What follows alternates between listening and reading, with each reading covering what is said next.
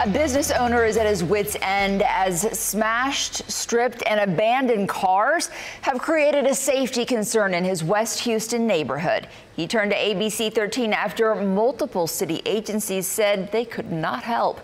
ABC 13's Lileana Pearson has more on the story. See that abandoned car?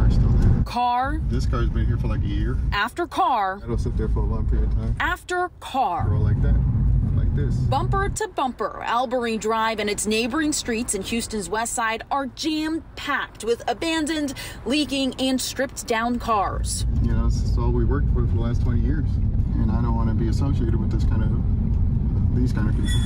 An auto body shop owner himself, Edward Morales, says many of the cars are brought in and left by other auto body shops that open and close quickly. Other cars appear overnight. The shop owner, Edward Morales, says it's vehicles just like this one that are causing the most concern for him. Sitting here with no license plates, he says it's parked illegally. You can even see a citation left behind for the city for $105 because it's parked in front of a fire hydrant. Morales says these cars need to go, but he's been trying to get the streets cleaned up for years with no luck.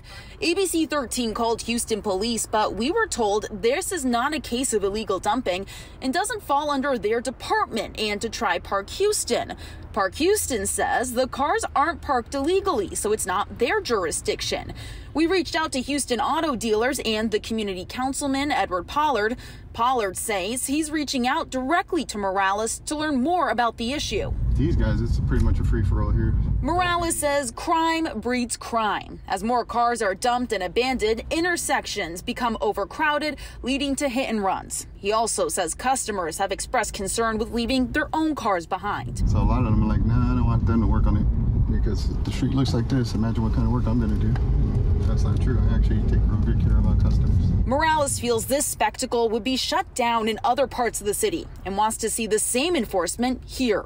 From Houston's West Side, I'm Lileana Pearson, ABC 13 Eyewitness News.